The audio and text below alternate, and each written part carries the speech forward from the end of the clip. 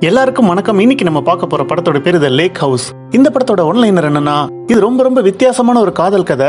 ரெண்டாயிரத்தி ஆறுல இருக்கிற நம்ம ஹீரோயின் ரெண்டாயிரத்தி நாலுல இருக்கிற ஹீரோவை லெட்டர்ஸ் மூலமா லவ் பண்றாங்க. என்னடா அது கேட்கவே வித்தியாசமா இருக்குன்னு பாக்குறீங்களா? ஆமாங்க ரெண்டு பேருக்கு நடுவுல ரெண்டு வருஷம் கேப் இருக்கு. அதாவது நம்ம ஹீரோ ரெண்டாயிரத்தி நாலுல இருக்கான் ஹீரோயின் ரெண்டாயிரத்தி ஆறுல இருக்கா. லெட்டர்ஸ் மூலமா லவ் பண்ண இவங்க ஒரு கட்டத்துல ரெண்டு பேரும் ஒருத்தர் ஒருத்தர் மீட் பண்ணிக்க ட்ரை பண்றாங்க. அப்படி மீட் பண்ணணும்னா ஹீரோயின் ரெண்டாயிரத்தி நாலுல எங்க இருந்தாங்கன்னு கண்டுபிடிச்சு ஹீரோ அங்க போகணும். ஆனா அப்படி போனா ரெண்டாயிரத்தி நாலுல இருக்கிற ஹீரோயினுக்கு ஹீரோவை தெரியாது. ஏன்னா ரெண்டாயிரத்தி ஆறுல தான் இவங்க லெட்டர்ஸ் மூலமா கான்டாக்ட் பண்ணவே ஆரம்பிச்சிருப்பாங்க. அதனால ஹீரோ ஹீரோயினை பார்க்கணும்னா ரெண்டு வருஷம் வெயிட் பண்ணி வந்து பார்க்கணும். இப்போ இவங்க எப்படி லெட்டர் மூலமா லவ் பண்ணாங்க?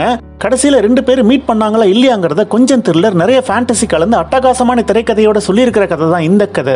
இந்த கதை கேட்கறதுக்கு கொஞ்சம் குழப்பமா தான் இருக்கும். என்னால் முடிஞ்ச வரைக்கும் தெளிவாக எக்ஸ்பிளைன் பண்ணுறேன் இந்த படம் தமிழ் அவைலபிளா இல்லை. இதோட போய் படம் பார்க்கணும்னு நினைக்கிறவங்க போய் படம் பார்க்கலாம். ஆனால் படம் பார்க்க டைம் இல்லைன்னு சொல்றவங்க இந்த வீடியோவை கண்டினியூ பண்ணுங்க. படத்தோட ஆரம்பத்தில் ஒரு லேக் ஹவுஸை காட்டுறாங்க. இப்ப கேட் அப்படிங்கிற நம்ம ஹீரோயின் அங்கிருந்து காலி பண்ணிட்டு தன்னோட நாயை கூட்டிக்கிட்டு அங்கிருந்து கிளம்புறாங்க. கிளம்பும்போது அங்க இருக்கிற ஒரு மெயில் பாக்ஸ்ல ஒரு லெட்டர் வச்சுட்டு போறாங்க. இப்ப அந்த லேக் ஹவுஸ் அலெக்ஸ் அப்படிங்கிற ஒருத்தன் வாங்குறான். இவன் தான் நம்ம படத்தோட ஹீரோ இப்ப கட் பண்ணா நம்ம ஹீரோயின் ஒரு டாக்டர் அவ ஒரு ஹாஸ்பிட்டல்ல ஒர்க் பண்றத காட்டுறாங்க. அதே சமயம் நம்ம ஹீரோ ஒரு ஆர்கிடெக்ட் அவன் ஒரு கன்ஸ்ட்ரக்ஷன் சைட்ல ஒர்க் பண்ணும்போது அங்க வந்த மோனா அப்படிங்கிற அவனோட ஃப்ரெண்டு நீ ஏன் அந்த கண்ணாடியில கட்டப்பட்ட லேக் ஹவுஸ் வாங்கின? அங்க சுத்தமா பிரைவசி இருக்காதுன்னு கத்தரா ஆனா ஹீரோ அதை கண்டுக்கவே இல்ல.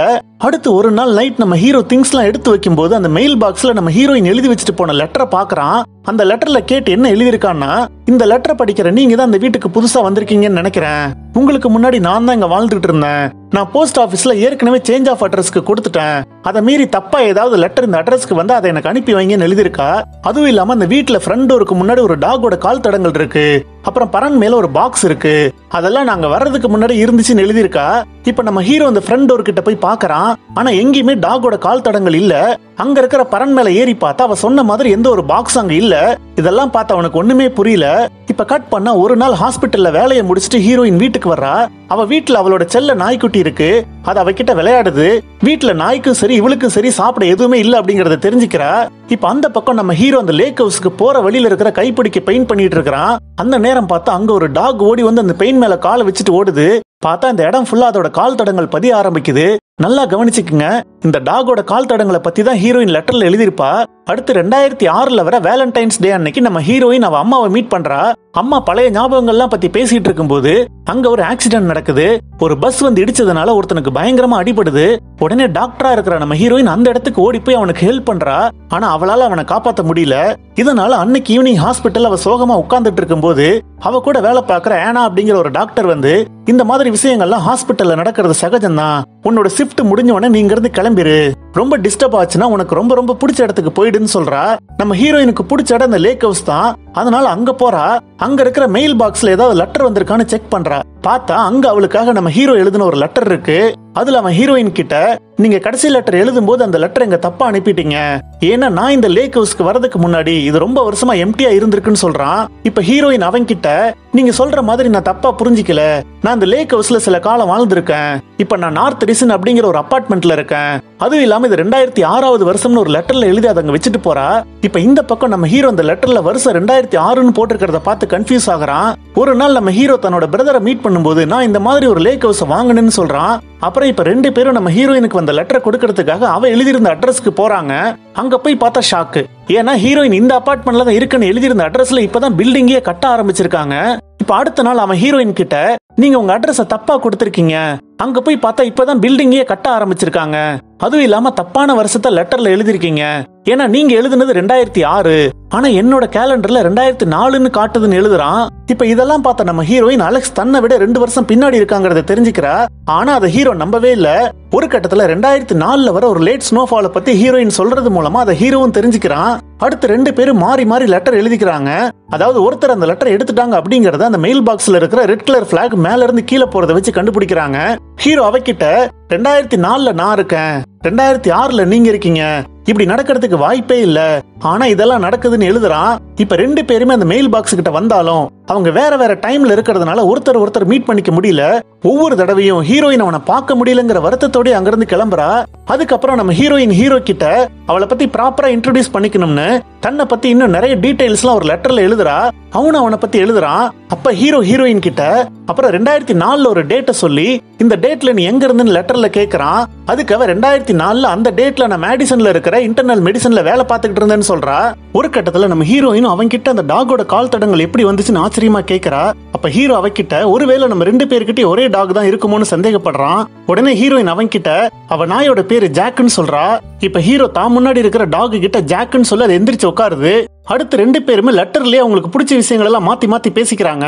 ஒரு வாரத்துக்கு அப்புறம் ஹீரோ அவளை ஒரு சனிக்கிழமை சிக்காகோவை சுத்தி பார்க்க கூப்பிடுறான். அதுவும் இல்லாம அந்த சிட்டில அவனுக்கு பிடிச்ச இடத்தெல்லாம் மார்க் பண்ணி ஒரு மேப் அவளுக்கு அனுப்புறான். இப்ப அந்த இடத்துக்குலாம் ஹீரோயின் போறா? ஹீரோ அங்கதான் இருக்கிறான். ஆனா ரெண்டு பேரும் வேற வேற டைம் லைன்ல இருக்கிறதுனால அவங்களால மீட் பண்ணிக்க முடியல. இப்ப ஹீரோயின் ஹீரோ கிட்ட நம்ம ரெண்டு பேரும் இந்த இடத்துல ஒன்னா சேர்ந்து நடக்கணும்னு ஆசைப்படுறேன்னு சொல்றா. அப்படி அவங்க போற இடத்துல ஒரு செவுத்துல ஹீரோ ஹீரோயினோட பேரை எழுதி டியர் கேட் நான் இங்க உன் கூட இருக்கேன். Thanks for the lovely Saturday டுகெதர்னு எழுதி வச்சிருக்கான். அடுத்து ஹீரோயின் அவ அம்மா கிட்ட நம்ம ஹீரோ எழுதின லெட்டர்லாம் கொடுக்கறா. அதை படிச்சவங்க அலெக்ஸ் ரொம்ப நல்ல பையன் மாதிரி தான் தெரியுதுன்னு சொல்றாங்க. ஆனா ஹீரோயின் அவங்க கிட்ட அந்த லெட்டர்ல போட்டிருக்கிற டேட்லாம் பாரு. நான் அவனை மீட் பண்ணவே முடியாதுன்னு சோகமா சொல்றா. அதை பார்த்தோன்னு அம்மாவுக்கு என்ன சொல்றதுன்னே தெரியல. ஒரு நாள் ஹீரோ அவன் அப்பாவை மீட் பண்ணி அவரோட ஓல்டு டிசைன்ஸ்லாம் கொடுக்கறான். இதெல்லாம் உங்களோட பழைய டிசைன்ஸ்னு சொல்லி நான் இதை அந்த லேக் ஹவுஸ்ல இருந்து எடுத்தேன்னு சொல்றான். ஆக்சுவலா ரெண்டு பேரும் ஏதோ ஒரு பிரச்சனையில ரொம்ப நாளா மீட் பண்ணிருக்க மாட்டாங்க. அது என்ன பிரச்சனைன்னு நமக்கு சொல்லல. அடுத்து ஹீரோயின் ஹீரோ கிட்ட ஆனா நான் இன்னும் அந்த லேக் ஹவுஸையும் அதை சுத்தி இருக்கிற மரங்களையும் மறக்கல. அதை ரொம்ப மிஸ் பண்றேன்னு எழுதுறா. இப்ப ஹீரோ ஹீரோயின் இப்ப இருக்கிற பில்டிங் கட்டுற இடத்துக்கு போறான். அங்க அந்த பில்டிங் முன்னாடி அவன் ஒரு மரத்தை நடுறான். இப்ப கட் பண்ணா ரெண்டாயிரத்தி ஆறுல ஒரு நைட்ல மழை வரும்போது ஹீரோயின் வேக வேகமா அவ அபார்ட்மெண்ட்டை நோக்கி ஓடுறா. அப்ப அவ பேக்ல இருந்து ஏதோ கீழே விழ. அதை குனிஞ்சு அவ எடுக்கிறதுக்கும். ரெண்டாயிரத்தி நாலுல ஹீரோ அந்த இடத்துல மரத்தை நட்டு முடிக்கிறதுக்கு கரெக்டா இருக்கு. இப்ப ஹீரோயின் திரும்பி பார்த்தா அங்க ஒரு மரம் இருக்கிறத கவனிக்கிறா. அதுதான் நம்ம ஹீரோ அவளுக்காக நட்டு வச்ச மரம். அப்புறம் ஹீரோ அவகிட்ட நீ ஒண்ணும் கவலைப்படாத. நம்ம சீக்கிரமே மீட் பண்ணிடுவோம்னு சொல்றான். கண்டிப்பா நான் உன்னை பார்க்க வருவேன்னு ப்ராமிஸும் பண்றான். ஒரு நாள் நம்ம ஹீரோ அப்புறம் அவனோட பிரதர் ரெண்டு பேரும் அந்த லேக் ஹவுஸ் முன்னாடி உட்காந்துருக்காங்க பார்த்தா அந்த லேக் ஹவுஸ கட்டினதே ஹீரோட அப்பா தான். அது அவரு ஹீரோட அம்மாவுக்காக அதை கட்டியிருப்பாரு. ரெண்டு பேரும் பேசும்போது ஹீரோட தம்பி ஹீரோ கிட்ட நீ விசனரி வேங்கார்டுன்னு ஒரு ஆர்கிடெக்ட் கம்பெனி ஆரம்பிக்கணும்னு சொன்னல அது என்னாச்சுன்னு கேக்குறான். அதுக்கு ஹீரோ அவன் கிட்ட இப்போதைக்கு எனக்கு அந்த பிளான் இல்லைன்னு சொல்றான். ஹீரோ தன் பிரதர் கிட்ட ஹீரோயினை பத்தி சொல்லலாம்னு நினைச்சாலும் அவ ரெண்டாயிரத்தி ஆறுல இருக்கான்னு சொன்னா தன்னை பைத்தியம்னு நினச்சிக்குவான்னு சொல்லவே இல்லை. அடுத்து ஹீரோயின் இன்னொரு லெட்டர்ல நான் ரெண்டு வருஷத்துக்கு முன்னாடி இதே நாள்ல ஒரு புக்கை ட்ரெயின்ல தொலைச்சிட்டேன். அதை உன்னால கண்டுபிடிச்சு தர முடியுமான்னு கேக்குறா? அதுவும் இல்லாம அந்த புக்கை எங்க அப்பா எனக்கு கிஃப்டா கொடுத்தாரு. ஒருவேளை அந்த புக்கை நீ கண்டுபிடிச்சா அதை அந்த மெயில் பாக்ஸ்ல வச்சிருன்னு சொல்றா. இப்ப நம்ம ஹீரோ ரயில்வே ஸ்டேஷனுக்கு போறான். அங்க அவன் கேட்டு யாரோ ஒருத்தனுக்கு கிஸ் பண்ணிட்டு குட் பை சொல்றத கவனிக்கிறான். ஆனா அவ தான் கேட்டுன்னு அவன் புக்கை மிஸ் பண்ற வரைக்கும் அவனால கன்ஃபார்ம் பண்ண முடியல. பார்த்தா ட்ரெயினுக்கு போற அவசரத்துல அவன் அந்த புக்கை வச்சுட்டு கிளம்பிடுறா. இப்ப ஹீரோ அந்த புக்கை எடுக்கும்போது அந்த ட்ரெயின் அங்கிருந்து கிளம்பிடுது. இப்ப ட்ரெயின்ல இருந்து ஹீரோயின் ஜன்னல் வழியா பார்க்கும்போது ஹீரோ அந்த புக்கை கையில வச்சுக்கிட்டு ஓடி வரத கவனிக்கிறா. ஆனா அவன் அந்த புக்கை அவகிட்ட கொடுக்க முடியல. அந்த புக் பெர்சுவேஷன் அப்படிங்கிற ஒரு நாவல் இப்ப ஹீரோ அவகிட்ட என் கிட்ட தான் அந்த புக் இருக்கு. அந்த புக் உனக்கு எவ்வளவு முக்கியம்னு எனக்கு தெரியும். ஒரு நாள் நான் கண்டிப்பா அதை உன்கிட்ட தருவேன்னு ஹீரோயினுக்கு எழுதுறான். அதுவும் இல்லாம நான் உன்னை ட்ரெயின்ல பார்த்தேன். நீ அவ்வளவு அழகுன்னு சொல்றான். இப்ப ஹீரோயின் அவன்கிட்ட நீ என்ன பார்த்துட்ட. ஆனா நீ எப்படி இருப்பன்னு இன்னும் எனக்கு தெரியலன்னு சொல்ல. ஹீரோ நம்ம மீட் பண்ண ட்ரை பண்ணலாம்னு சொல்றான். உடனே அவ ஹீரோ கிட்ட அப்ப ரெண்டாயிரத்தி ஆறு ஜூலை பத்தாம் தேதி சரியா ஒன்பது அஞ்சுக்கு எனக்கு கால் பண்ணுன்னு சொல்றா? உடனே அவ போன் அடிக்க ஆரம்பிக்குது. பார்த்தா அது ஹீரோ கால் பண்ணல. அவளோட எக்ஸ் பாய் ஃப்ரெண்ட் மார்கன் தான் கால் பண்ணிருக்கான். இப்ப அவன் மார்கனை மீட் பண்றா. ஏற்கனவே ரெண்டு பேருக்கும் பிரேக்கப் ஆயிருக்கும். அவன் மறுபடியும் அவ கூட ரிலேஷன்ஷிப்பை கண்டினியூ பண்ண ட்ரை பண்றான். ஆனா ஹீரோயின் இதெல்லாம் சரியா வராதுன்னு அதுக்கு ஒத்துக்கல. இப்ப ரெண்டாயிரத்தி நாலுல ஹீரோ கட்டிக்கிட்டு இருக்கிற பில்டிங்கை கட்டி முடிக்கிற நேரத்துல ஹீரோ கூட ஒர்க் பண்ற மோனா வந்து ஹீரோ டேட்டிங்க்கு கூப்பிடுறா. அந்த நேரத்துல ஹீரோ வண்டியில இருக்கிற டாக் திடீர்னு எகிரி குதிச்சு ஓட ஆரம்பிக்குது. ஹீரோவும் மோனாவும் அந்த டாகை துரத்திக்கிட்டு ஓடுறாங்க. இப்ப அந்த டாக் ஓடி போய் மார்கனோட வீட்டு முன்னாடி நிக்குது. இப்ப மார்கனும் ஹீரோவும் மீட் பண்ணிக்கிறாங்க. ரெண்டு பேரும் ஒருத்தர் ஒருத்தர் இன்ட்ரோடியூஸ் பண்ணிக்கிறாங்க. மார்கன் ஹீரோ கிட்ட இன்னைக்கு நைட்டு நான் ஒரு பார்ட்டி வச்சிருக்கேன். அதுக்கு நீங்க ரெண்டு பேரும் வாங்கன்னு நம்ம ஹீரோவையும் மோனாவையும் கூப்பிடுறான். அப்புறம் மார்கன் தன்னோட விசிட்டிங் கார்டை ஹீரோ கிட்ட கொடுத்து எனக்கு ஒரு லேக் ஹவுஸ் ரெண்ட்டுக்கு எடுக்கணும் என்னோட கேர்ள் ஃபிரெண்ட் கேட்டுக்கு இப்ப இருக்கிற இடம் பிடிக்கலன்னு சொல்ல ஹீரோ அந்த பேரை கேட்டு ஷாக் ஆகுறான். ஏன்னா அவன் சொன்ன அந்த கேர்ள் ஃபிரெண்ட் தான் நம்ம ஹீரோயின் அவனுக்கு புரிய ஆரம்பிக்குது. இப்ப நம்ம ஹீரோ ஒருவேளை மார்கன் சொல்ற அந்த பொண்ணு தான் நமக்கு லெட்டர் அனுப்புற கேட்டா இருக்குமோன்னு அந்த பார்ட்டிக்கு வர ஒத்துக்கிறான். அதுவும் இல்லாம அன்னைக்கு நம்ம ஹீரோயினோட பர்த்டே இப்ப கட் பண்ணா ரெண்டாயிரத்தி ஆறுல அதே நாள்ல நம்ம ஹீரோயின் தன்னோட பர்த்டேவை ஒரு பார்ல தனியா கொண்டாடிட்டு இருக்கிறா. அங்க அவ கூட ஒர்க் பண்ற ஆனா கிட்ட அவளுக்கும் மார்கனுக்கும் ஏற்கனவே பிரேக்கப் ஆனதை பத்தி சொல்லிக்கிட்டு இருக்கா. இப்ப கட் பண்ணி ரெண்டாயிரத்தி நாலுல அவளோட பர்த்டே அன்னைக்கு அங்க என்ன நடந்துச்சுன்னு காட்டினா மார்கன் ஹீரோயினுக்கான பர்த்டே பார்ட்டியை நடத்துறான். அந்த பார்ட்டிக்கு நம்ம ஹீரோவும் வரான் அப்ப மார்கன் ஹீரோ ஹீரோயின் கிட்ட இன்ட்ரோடியூஸ் பண்றான். இவர் தான் லேக்குக்கு பக்கத்துல இருக்கிற வீட்டை கண்டுபிடிச்சு தர போறாருன்னு சொல்றான். இப்ப ரெண்டு இடத்துல என்ன நடக்குதுன்னு மாறி மாறி காட்டுறாங்க. ரெண்டாயிரத்தி ஆறுல ஆனா ஹீரோயின் கிட்ட இப்ப நீ யாரையாவது லவ் பண்றியா? ஏன்னா ஹாஸ்பிட்டல்ல பிரேக் வந்தோடனே நீ உட்காந்து லெட்டர் எழுத ஆரம்பிச்சிருன்னு சொல்றா. அதுக்கு ஹீரோயின் அவகிட்ட ஆமா அவன் லேக் ஹவுஸ்ல இருக்கிற ஒரு ஆர்கிடெக்ட் ஆனா நான் இன்னும் அவனை மீட் பண்ணவே முடியலன்னு சொல்றா. அப்ப ஹீரோயினுக்கு ரெண்டு வருஷத்துக்கு முன்னாடி இதே நாள்ல மார்கன் அவளுக்கு பார்ட்டி கொடுத்ததெல்லாம் ஞாபகம் வருது. இப்ப யோசிச்சு பார்க்கும்போது நம்ம இன்னைக்கு சந்திச்சது ஹீரோ தான் அவளுக்கு ஞாபகம் வருது. இப்ப கட் பண்ணி அங்க என்ன நடந்துச்சுன்னு காட்டுறாங்க. அங்க அந்த பார்ட்டில நம்ம ஹீரோ தனியா வெளியில உட்காந்துட்டு இருக்கும்போது ஹீரோயின் அங்க வர்றா. ஹீரோ அவளுக்கு ஹாப்பி பர்த்டேன்னு சொல்றான் அப்புறம் அவன் ட்ரெயின்ல பர்சுவேஷன் அப்படிங்கிற ஒரு நாவலை மிஸ் பண்ணால அதோட பேரை சொல்லி அதை படிச்சிருக்கீங்களான்னு கேக்குறான். அதுக்கு ஹீரோயின் நான் அதை படிச்சிருக்கேன். அது என்னோட ஃபேவரட் புக்னு சொல்றா. இப்ப அந்த புக்கை பத்தி ரெண்டு பேரும் பேசுறாங்க. ஹீரோயின் அவளோட ஃபர்ஸ்ட் லவ் பத்தி ஹீரோ கிட்ட சொல்றா. ஒரு கட்டத்துல ஹீரோவும் அவளும் ஒரு பாட்டுக்கு டான்ஸ் ஆட ஆரம்பிக்கிறாங்க. கரெக்டா ஹீரோ ஹீரோயினை கிஸ் பண்ண போறப்ப மார்கனும் மோனாவும் அங்க வந்துடுறாங்க. மோனா ஹீரோ கிட்ட சீக்கிரம் வீட்டுக்கு போகணும்னு சொல்றா. இந்த இடத்துல ஹீரோயின் நம்ம ஹீரோவை கிஸ் பண்ணதுனாலதான் மார்கனுக்கு அவளுக்கு பிரேக்கப் ஆயிருக்கும். இப்ப கட் பண்ண ரெண்டாயிரத்தி ஆறுல ஹீரோயின் அவளோட பர்த்டேக்கு அடுத்த நாள் அவ அலெக்ஸ் ரெண்டு வருஷத்துக்கு முன்னாடியே மார்கன் வீட்டுல மீட் பண்ணதை மென்ஷன் பண்ணி அப்ப நீ யாருன்னு சொல்லிருக்கலாம்னு லெட்டர்ல எழுதுறா. ஆனா ஹீரோ அவகிட்ட நான் சொல்லியிருந்தா உனக்கு எப்படி புரிஞ்சிருக்கும்? என்ன பைத்தியம் பைத்தியம்னு நினைச்சிருப்பேன்னு சொல்றான். இப்ப கொஞ்ச நாள்ல ஹீரோட அப்பாவுக்கு ஹார்ட் அட்டாக் வந்திருக்குன்னு போன் வருது. உடனே ஹீரோ ஹாஸ்பிட்டலுக்கு போறான். அங்க டாக்டரா இருக்கிற ஹீரோயினோட ஃப்ரெண்ட் ஆனா ஹீரோ கிட்ட இது ஒரு மைனர் அட்டாக் தான். உங்க அப்பா நார்மல் ஆயிட்டாருன்னு சொல்றா. ஹீரோ அப்பாவை போய் பாக்குறான். அவர் ஹீரோ கிட்ட ஒரு காஃபி கேக்குறாரு. ஹீரோ நேரா காஃபி ஷாப் போறான். அங்க போனவன் ஹீரோயினுக்கு லெட்டர் எழுத ஆரம்பிக்கிறான். நான் இது வரைக்கும் ஒரு விஷயத்த உன்கிட்ட சொல்லவே இல்ல. அந்த லேக் ஹவுஸ கட்டினதே எங்க அப்பா தான். என் அப்பா அந்த லேக் ஹவுஸை என் அம்மாவுக்கு கொடுக்கறதுக்காக தான் கட்டினாரு.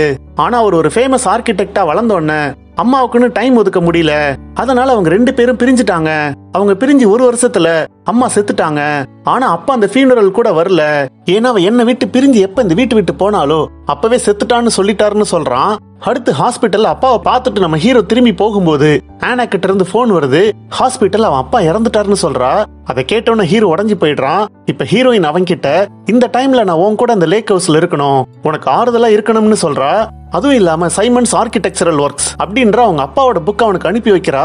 இந்த புக் இன்னும் ரெண்டு வருஷத்துக்கு அப்புறம் தான் பப்ளிஷ் ஆக போகுது. அதுல அவர் எந்த அளவுக்கு தன் பையன் அதாவது நம்ம ஹீரோவை பிடிக்கும்னு எழுதியிருப்பாரு. அதுவும் இல்லாம அதுல அந்த லேக் ஹவுஸ்க்கு முன்னாடி தன்னோட சின்ன வயசுல அப்பா கூட இருக்கிற மாதிரி வந்த ஒரு போட்டோவை பார்த்து ஹீரோ அழ ஆரம்பிக்கிறான். ஒரு கட்டத்துல ஹீரோ ஹீரோயின் கிட்ட நம்ம ரெண்டு பேரும் மீட் பண்ணணும்னு சொல்றான். ஹீரோயின் அவன் கிட்ட வேணும்னா என்னோட டைம் லைன்ல நாளைக்கு இல்மேர் அப்படிங்கிற ரெஸ்டாரண்ட்ல மீட் பண்ணலாம்னு சொல்றா. ஆனா ரெண்டு பேரும் மீட் பண்ணிக்க நம்ம ஹீரோ ரெண்டு வருஷம் வெயிட் பண்ணணும். ஆனா நம்ம ஹீரோயின் ஒரே ஒரு நாள் வெயிட் பண்ணா மட்டும் போதும். இப்ப ரெண்டாயிரத்தி நாலுல அந்த ரெஸ்டாரண்ட்டுக்கு போன ஹீரோ ரெண்டு வருஷம் கழிச்சு இவங்க மீட் பண்ற நாளுக்கு டேபிள புக் பண்றான். ரெண்டு வருஷம் கழிச்சு ஒரு டேட்டை சொல்லி டேபிள் புக் பண்றத பார்த்து ரிசப்ஷனிஸ்ட் கன்ஃபியூஸ் ஆகுறா. இருந்தாலும் புக் பண்ணி கொடுக்கறா. இப்ப ரெண்டாயிரத்தி ஆறுல அதே ரெஸ்டாரண்ட்டுக்கு ஹீரோ மீட் பண்ண ஹீரோயின் வரும்போது ரிசப்ஷனிஸ்ட் ஹீரோ ரெண்டு வருஷத்துக்கு முன்னாடியே டேபிள புக் பண்ணதை ரீகால் பண்ணி ஆச்சரியமா சிரிக்கிறா. இப்ப ஹீரோயின் அந்த டேபிள்ல ஹீரோவுக்காக வெயிட் பண்ணிட்டு இருக்கிறா. ஆனா அன்னைக்கு ஃபுல்லா அவன் வரவே இல்ல. இப்ப அடுத்த நாள் அவ ஹீரோ கிட்ட நீ நேத்து ரெஸ்டாரண்ட்டுக்கு வரவே இல்லைன்னு சொல்றா? அதுக்கு ஹீரோ அவகிட்ட நம்ம மறுபடியும் ட்ரை பண்ணலாம்னு சொல்ல ஹீரோயினுக்கு அவனை மீட் பண்ணுவோம் அப்படிங்கிற நம்பிக்கையே போயிடுது. அதனால ஹீரோயின் அது ஒர்க் அவுட் ஆகாதுன்னு சொல்றா. இருந்தாலும் ஹீரோ அவகிட்ட நீ அந்த பெர்சுவேசன் நாவலை படிச்சல்ல அதுல முதல்ல அவங்க பிரிஞ்சிருவாங்க மறுபடியும் மீட் பண்ணுவாங்க. அதே மாதிரி நமக்கு இன்னொரு சான்ஸ் கிடைக்கும்னு சொல்றான். ஆனா ஹீரோயின் அவன்கிட்ட புக் வேற லைஃப் வேற. ஒரே ஒரு செகண்ட்ல லைஃப் டப்புன்னு முடிஞ்சிரும்னு சொல்றா. அதுவும் இல்லாம ரெண்டாயிரத்தி ஆறுல நான் வேலண்டைன்ஸ் டே அன்னைக்கு அம்மா கூட டெய்லி பிளாஸால லஞ்ச் சாப்பிடும்போது ஒரு ஆக்சிடென்ட் நடந்துச்சு. அதுல அடிபட்ட ஒருத்தனை காப்பாத்த ட்ரை பண்ணேன் ஆனா என் கையிலேயே அவன் செத்துட்டான். அப்போ ஒரு விஷயம் எனக்கு தோணுச்சு. இவனை நேசிக்கிறவங்க அத்தனை பேருமே இவனுக்காக வீட்டுல காத்துட்டு இருப்பாங்க. ஆனா அவங்களால இனிமே அவனை பார்க்கவே முடியாதுன்னு தோணுச்சு. அப்ப எனக்குள்ள இன்னொரு கேள்வியும் வந்துச்சு. ஒருவேளை அவனுக்காக யாருமே அங்க வெயிட் பண்ணலனா என்ன ஆகும் அதாவது நம்ம வாழ்ற அந்த வாழ்க்கை முழுக்க நமக்காக யாருமே வெயிட் பண்ணலனா என்ன ஆகும் ஆனா அந்த கேள்விக்கு எனக்கு பதிலே தெரியல. அந்த கேள்வியோட தான் நான் அந்த லேக் ஹவுஸ்க்கு போனேன். அப்பதான் லெட்டர் மூலமா உன்கிட்ட பேச ஆரம்பிச்சேன். ஆனா அலெக்ஸ் அப்படிங்கிற நீ ரியல் இல்ல. எனக்கு எனக்குள்ள உன்ன ஒரு அழகான கற்பனையா உருவாக்கிக்கிட்டு அதுல நான் தொலைஞ்சே போயிட்டேன். அது முழுக்க முழுக்க என்னோட கற்பனைன்னு எனக்கு புரிஞ்சிருச்சு. இப்ப ஏன் முன்னாடி எனக்கு கிடைச்ச இந்த வாழ்க்கையை நான் வாழ ட்ரை பண்ண போறேன்? இனிமே நீ எனக்கு எந்த லெட்டரும் எழுதாத? என்ன தேடவும் முயற்சி பண்ணாதன்னு சொல்றா? அதாவது அலெக்ஸ்ங்கிற கேரக்டர் தான் உருவாக்கின கற்பனை அவனை விட்டு அவ விலகி போறா? ஆனா இன்னொரு பக்கம் ரெண்டாயிரத்தி நாலுல ஹீரோ அந்த மெயில் பாக்ஸ்ல டெய்லி லெட்டர்ஸ் எல்லாம் செக் பண்றத காட்டுறாங்க. அங்க அவன் ஹீரோயினுக்கு எழுதி போட்ட லெட்டர்ஸ் எல்லாம் அப்படியே இருக்கு. அவகிட்ட இருந்து புதுசா அவனுக்கு எந்த லெட்டரும் வரவே இல்ல. இப்ப ஹீரோயின் மறுபடியும் மார்கனை மீட் பண்றா? அவளுக்கு ஹீரோவை மீட் பண்ணுவோங்கிற நம்பிக்கையே இல்ல. அதனால அவ மார்கன் கூட வாழலாம்னு முடிவெடுக்கிறா. படம் பாக்குற நமக்கெல்லாம் அலெக்ஸ்ங்கிறத உண்மையாக உருவாக்கின ஒரு கற்பனை தானோன்னு தோண ஆரம்பிக்குது. இப்ப இந்த பக்கம் ஹீரோயின் கிட்ட எந்த லெட்டர் வராததுனால ஹீரோ அந்த லேக் ஹவுஸ் விட்டு போயிடலாம்னு முடிவெடுக்கிறான். அதனால அவன் எல்லா லெட்டரையும் ஒரு பாக்ஸ்ல போட்டு பரன் மேல வைக்கிறான். அதுக்கப்புறம் அவன் மார்கனை மீட் பண்ணி லேக் ஹவுஸோட கீயை கொடுத்து இதை தான் கேட் விரும்பினான்னு சொல்லிட்டு போறான். அதுவும் இல்லாம அவனோட நாய் ஜாக்கையும் மார்கன் கிட்ட விட்டுட்டு போறான். இப்ப உங்களுக்கு புரியும்னு நினைக்கிறேன். ஹீரோ பரன்ல வச்ச பாக்ஸ் தான் ஹீரோயின் ஆரம்பத்துல சொன்ன அந்த பாக்ஸ் அதுவும் இல்லாம ஹீரோ கொடுத்த நாய் தான் இப்ப ஹீரோயின் கூட இருக்கு. அடுத்து ஹீரோ அவனோட புது அபார்ட்மெண்ட்ல உட்காந்து ஒரு ஆர்கிடெக்ட் டிசைனை ஒர்க் பண்ணிக்கிட்டு இருக்கான். அப்ப அவனோட பிரதர் ஹென்றி அவன்கிட்ட நீ ஏன் திரும்ப திரும்ப அந்த லேக் ஹவுஸ் மாதிரி டிசைன் பண்ணிட்டு இருக்கேன்னு கேக்குறான். அதுக்கு ஹீரோ அவன்கிட்ட அது கேட்டுக்கு சொந்தமானது. இன்னும் அதை பெட்டரா எப்படி பண்ணலாம்னு ட்ரை பண்றேன்னு சொல்றான். உடனே அவன் பிரதர் அவன்கிட்ட ஓ நீ இன்னும் அந்த பொண்ணுக்கு லெட்டர் எழுதிக்கிட்டு இருக்கியான்னு கேக்குறான். அதுக்கு ஹீரோ இல்ல அவ எழுத வேணாம்னு சொல்லிட்டான்னு சொல்றான். இப்ப ஹீரோட பிரதர் ஹீரோ கிட்ட நீ உன்னோட கற்பனையெல்லாம் விட்டுட்டு ஒரு ரியலான பொண்ணை மீட் பண்ணணும்னு சொல்றான். அதுக்கு ஹீரோ அவன் கிட்ட கேட்டு ஒரு ரியலான பொண்ணுதான்னு சொல்றான். இப்ப இன்னொரு பக்கம் ஹீரோயின் டிவி பார்க்கும்போது மார்கன் அவகிட்ட டிவி சவுண்ட கம்மி பண்ண சொல்றான். அவ உடனே டிவி ஆஃப் பண்ணிட்டு பெட்ரூமுக்கு போறா. அங்க ஃப்ளோர்ல ஏதோ சத்தம் வர. உடனே ஃப்ளோரை உதைக்கிறா. உடனே அங்க இருக்கிற பலகை மேல வருது. உள்ள பார்த்தா அங்க பெர்சுவேஷன் அப்படிங்கிற அந்த புக் இருக்கு. அதுதான் ஹீரோ ஹீரோயின் கிட்ட ரெஃபர் பண்ண புக்கு அந்த புக்குக்குள்ள ஒரு ரோஸ் இருக்கு. அந்த ரோஸ பார்த்தோன்னே ஹீரோயினுக்கு ஹீரோவோட ஞாபகம் வருது. ஆக்சுவலா நம்ம ஹீரோ தான் அந்த புக் அங்க மறைச்சு வச்சிருந்திருப்பான். இருந்தாலும் ஹீரோயின் மறுபடியும் ஹீரோவை காண்டாக்ட் பண்ண விரும்பல. அடுத்து ஒரு மாசம் கழிச்சு ஹீரோயின் மார்கனை ஒரு பாலடைஞ்ச வீட்டுக்கு கூட்டிட்டு போறா. நம்ம அந்த அபார்ட்மெண்ட்ல ரொம்ப நாள் ஸ்டே பண்ண முடியாது. கிட்டத்தட்ட ஒரு வருஷமா அங்க ஸ்டே பண்ணிருக்கோம். அதனால இந்த வீட்டை புதுப்பிச்சு இங்க மாறிடலாம்னு சொல்றா. அடுத்து ரெண்டாயிரத்தி எட்டு வேலண்டைன்ஸ் டே அன்னைக்கு ஹீரோயின் மார்கனும் விசனரி வேங்கார்ட் அசோசியேட்ஸ் அப்படிங்கிற ஒரு ஆர்கிடெக்ட் கம்பெனிக்கு போறாங்க. அந்த பாலடைஞ்ச வீட்டை புதுப்பிக்கணும்னு சொல்றாங்க. அந்த கம்பெனி வேற யாரும் இல்ல. நம்ம ஹீரோட தம்பியோட கம்பெனி தான். இப்ப கட் பண்ண ரெண்டாயிரத்தி ஆறுல அதே வேலண்டைன்ஸ் டேல ஹீரோ தன்னோட தம்பிய பாருக்கு கூப்பிடுறான். அதுக்கு அவன் இன்னைக்கு வேலண்டைன்ஸ் டே நான் என் கேர்ள் ஃபிரெண்ட் கூட வெளியில போகணும்னு சொல்லிட்டு போறான். இப்ப ஹீரோவுக்கு அன்னைக்கு வேலண்டைன்ஸ் டேன்னு தெரிஞ்சதும் ஹீரோயின் அவனுக்கு எழுதின ஒரு லெட்டர் ஞாபகம் வருது. அந்த லெட்டர்ல ஹீரோயின் ரெண்டாயிரத்தி ஆறு வேலண்டைன்ஸ் டே அன்னைக்கு என்ன பண்ணிக்கிட்டு இருந்தேன்னு எழுதியிருந்தது ஞாபகம் வருது. இப்ப அது என்னன்னு தெரிஞ்சு அவளை போய் மீட் பண்ணலாம்னு அந்த லெட்டர் படிக்கிறதுக்காக ஹீரோ லேக் ஹவுஸ்க்கு போறான். இப்ப இந்த பக்கம் ஆர்கிடெக்ட் மீட்டிங் முடிஞ்ச உடனே ஹீரோயின் அவளுக்கு பின்னாடி மாட்டி இருக்கிற லேக் ஹவுஸோட டிசைனை பாக்குறா. இது யார் பண்ணதுன்னு கேக்குறா. அதுக்கு ஹீரோட பிரதர் அவகிட்ட இது என்னோட பிரதர் அலெக்ஸ் பண்ண டிசைன்னு சொல்றான். இப்ப அவன் பேர் அலெக்ஸ் அப்படிங்கறத கேட்ட ஹீரோயின் ஷாக் ஆகுறா. உடனே அவன்கிட்ட அலெக்ஸ் இப்ப நான் சந்திக்க முடியுமான்னு கேக்குறா. அதுக்கு அவன் அவகிட்ட என்னோட பிரதர் ரெண்டு வருஷத்துக்கு முன்னாடி இதே நாள்ல ஒரு ஆக்சிடென்ட்ல செத்துட்டான்னு சொல்றான். அதை கேட்டோன்னு ஹீரோயின் கண்கள் கலங்க அந்த ஆக்சிடென்ட் எங்க நடந்துச்சுன்னு கேக்குறா. அதுக்கு அவன் என்ன சொன்னான்னு தெரியல. ஆனா ஹீரோயின் வேக வேகமா அங்கிருந்து ஓட ஆரம்பிக்கிறா. இப்ப இந்த பக்கம் ரெண்டாயிரத்தி ஆறுல இருக்கிற ஹீரோ அந்த லேக் ஹவுஸ் வீட்டுக்கு போறான். இப்ப இன்னொரு பக்கம் ரெண்டாயிரத்தி எட்டுல இருக்கிற ஹீரோயினும் அலெக்ஸுக்கு லெட்டர் எழுதுறதுக்காக வேக வேகமா அந்த லேக் ஹவுஸ்க்கு போறா. ஒரு பக்கம் ரெண்டாயிரத்தி ஆறுல ஹீரோ அந்த பழைய லெட்டர் எடுத்து படிக்கும் போது இன்னொரு பக்கம் ஹீரோயின் ரெண்டாயிரத்தி எட்டுல புதுசா ஒரு லெட்டர் எழுதி அந்த மெயில் பாக்ஸ்ல வச்சு அந்த ரெட் கலர் பிளாக மேல தள்ளி வைக்கிறா? அழுதுகிட்டு அங்க வெயிட் பண்ணிட்டு இருக்கா ஹீரோயின் எழுதின லெட்டர்ல என்ன இருக்கு? ஹீரோ அந்த லெட்டரை எடுத்தானா இல்லையா அப்படிங்கறதெல்லாம் நமக்கு காட்டவே இல்ல. இப்ப கட் பண்ணி ரெண்டாயிரத்தி ஆறுல வேலண்டைன்ஸ் டே அன்னைக்கு ஹீரோயின் அவன் அம்மா கூட இருந்தால அங்க காட்டுறாங்க. அங்க ஹீரோ பாக்குறதுக்காக தேடி வந்துட்டு இருக்கான். பின்னாடி ஹீரோயின் இப்ப ஹீரோக்கு ஒரு லெட்டர் எழுதினால அதுல என்ன இருக்குன்னு அவளோட வாய்ஸ் ஓவர்ல வர்ற மாதிரி காட்டுறாங்க. அலெக்ஸ் நான் உனக்காக ரெஸ்டாரண்ட்ல வெயிட் பண்ணப்ப அன்னைக்கு நைட் நீ வரவே இல்ல. அது ஏன்னு எனக்கு தெரிஞ்சிருச்சு. ஏன்னா ரெண்டாயிரத்தி ஆறு வேலண்டைன்ஸ் டேல டெய்லி பிளாசால நான் இருக்கும்போது ஒரு ஆக்சிடென்ட்ல ஒருத்தன் அடிபட்டதை பார்த்தேன்ல. அது வேற யாரும் இல்ல. நீதான்னு சொல்றா. அதுவும் இல்லாம நீ என்ன பார்க்க வந்துதான் உனக்கு அடிபட்டுச்சு.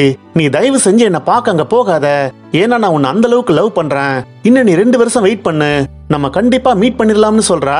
இப்ப கட் பண்ணா ரெண்டாயிரத்தி ஆறுல அலெக்ஸ் அந்த டெய்லி பிளாசாக்கு போறான். அங்க ஹீரோயின் அவன் அம்மா கூட இருக்கிறத பாக்குறான் அவளை நோக்கி அவன் போக ட்ரை பண்ணும்போது ஒரு பஸ் அவனை தாண்டி போகுது. இப்ப பார்த்தா ரெண்டாயிரத்தி எட்டுல லேக் ஹவுஸ்ல அந்த மெயில் பாக்ஸோட ரெட் கலர் பிளாக் கீழே போறத காட்டுறாங்க.